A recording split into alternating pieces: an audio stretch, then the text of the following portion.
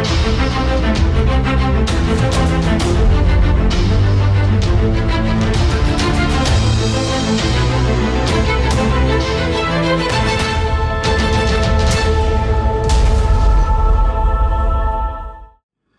there, Loy Machedo Sweeney from LoyMachedo.com. Who is Loy Machedo? Think Personal Branding. Okay, um, just a small little video that I wanted to share with you. Um, you know, there are a lot of expatriates who, who work in the Middle East. And uh, once they come to the Middle East, they assume that, you know, they're going to stay for a very long time. And uh, everyone has like positive aspirations about the future Okay, like I always tell, uh, nobody gets married uh, assuming or thinking about a divorce. Nobody starts a business thinking that, oh, one day I'll have to shut it down. But then it just happens, you know, life happens, like they say. So, um, uh, given the fact that I, I guess I'm one of, I don't know, maybe the only YouTube channel that speaks about expatriates from UAE, um, I I don't know how many other people do that. And uh, given the fact that I uh, share the good, bad, ugly, the negative side, uh, I, I, guess a lot of people like to open up to me and share what they are going through or they have gone through or their experiences. So one of the categories of people that nobody talks about is people who have been in the UAE for many years and uh, who have left the UAE. Okay, now I, I find this this category of people really interesting because uh, nobody talks about them much and they don't open up to anyone. The reason being is it's you feel like a failure. You feel like you went to achieve something big and you didn't succeed. So uh, not many people want to open up. So this particular message that I received, uh, this is a guy who worked in um, UAE for nearly 15 years, okay, 15 plus years. Uh, obviously, he requested me not to share his uh, specifics. Um, so what he did is he shared with me a couple of uh, thoughts that he had, the experience that he went through. Because I asked him, like, okay, you have 15 years in the UAE and now you've gone back to India. How is the situation? Now, mind you, there are people who say that they are going through a good time. There are people who are saying that, oh, you know, I was able to adjust.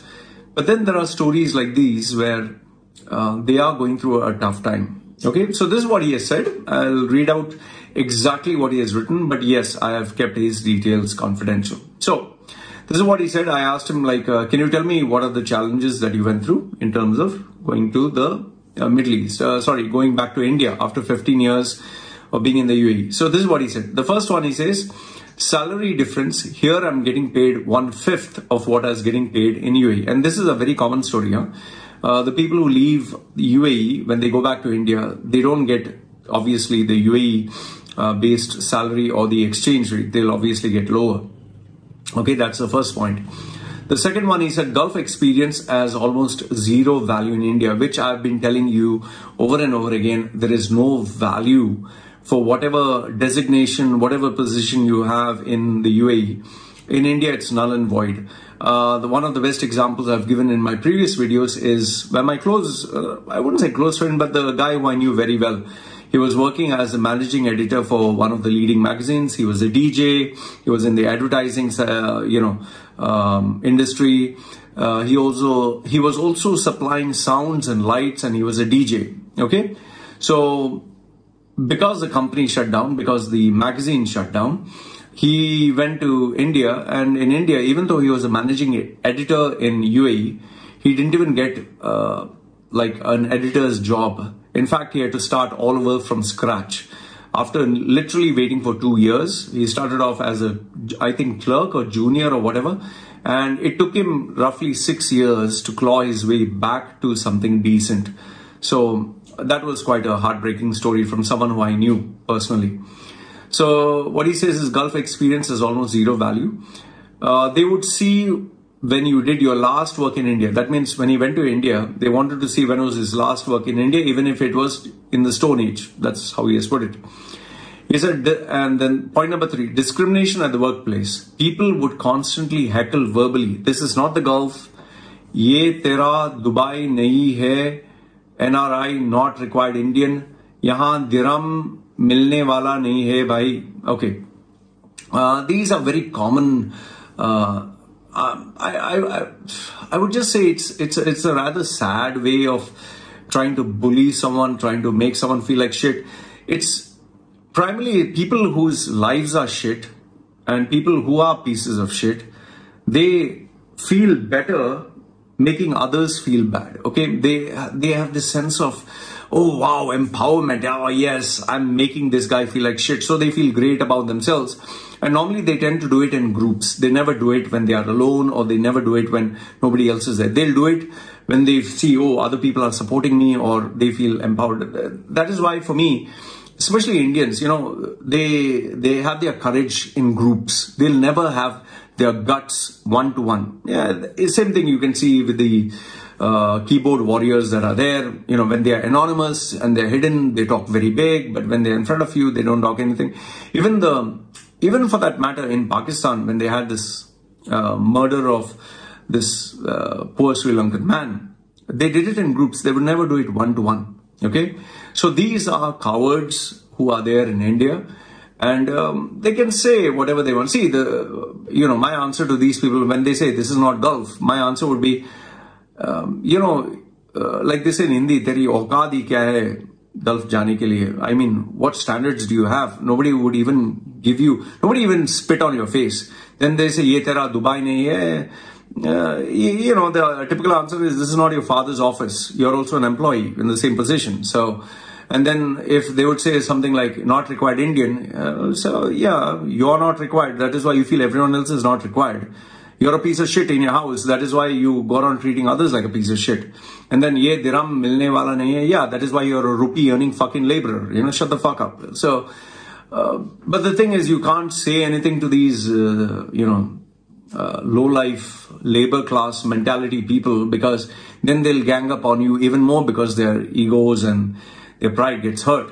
As it is, they it's it's it's a very fragile ego that they have. But when they go, you know, home and all that, they might act like very big or, you know, nobody gives them a fuck. But then remember, on the global stage, nobody gives a fuck uh, about these individuals. Then uh, next point he says is among the relatives and your own blood, they treat you shabbily. Uh, reason no Gulf money, no perfumes, no chocolates, no dry fruits, which is very common. Huh? Even when I was uh, young, my parents, when they would go back to India, they would take uh, chocolates, perfumes, uh, nuts from the Dubai duty free. And whenever you'd land in um, India, oh, they want to know what you got for them. What is nice? Cashew, badam, pista, this, that. So for them, they look at it as gifts. So obviously when you come back and you're not going to buy them any more gifts, so nobody is there. So like I always tell people, you know, during tough times, you come to know who's your real friend. And uh, when you don't have money, you come to know people's real colors. That is why, if you actually look at me, I dress up like a poor man. I, I dress up simple and because I like to see how they really act. You know, if you show you have money, obviously everyone will kiss your ass. Then some will taunt Gulf return pauper. Uh, some guys uh, Oh, uh, the same guys who once carried me on their shoulders and made me sit on a plane seat when I was going to the Gulf. so I would just say that yes, it's a very painful lesson, but you come to know real colors and use this as an incentive, as the fire, the fuel to push you towards greatness. That's what I would say. Then the next point he says, even if I'm getting a less pay, I live comfortably with my family. And like I tell people, you are the king in your own country. You don't need a visa. You don't have to be a beggar. You don't have to, you're not, uh, you know, your life is not based on uh, a stamp on your passport, you know. So yes, uh, and even if you are not, you're not enjoying the job, you resign. You can go back home. You can rest and relax. You don't have to worry. Oh shit, I lost my job, and now I'm going to get kicked out of the country. They're going to throw me out. They're going to throw my family out. I'll have to pay the bank loan. So that is not there. Then he said, one more point, all your old contacts turn their backs away, whether in Gulf or in India, when you come from GCC and ask for help in finding jobs. Yeah, there are two points here. One is uh, contacts and connections only keep in touch with you when you're rich and powerful, when you're famous, when you are of some use to them. That is why for me, when, you know, when today when people kiss my ass and say, oh, Loy, big fan of yours, you know, I admire you, you know, I admire you're a great guy, you're this, you're that. I, I know because I'm in a position of power. Today, journalists, today, politicians, today, rich people, today, quite a number of people send me compliments, money, and it doesn't get to my head because I've not forgotten in uh, 2011, 2011. You can check my video, Loy Machedo uh, uh, suicide video. I it's restricted, now. by the way. If uh, you're underage, you can't see that. If you're below 18, so I, I give a raw footage of what I went through when I didn't have any money, and I've not forgotten those days. So when you don't have money, those very same people don't look at your face, and I don't blame them because we live in a world where only if you have money, only if you're rich, successful, they want to keep in touch with the others. It's more like fuck off. So whether Gulf or India, it's it's the same. People uh, like uh, that. That is why for me, I'm explicit.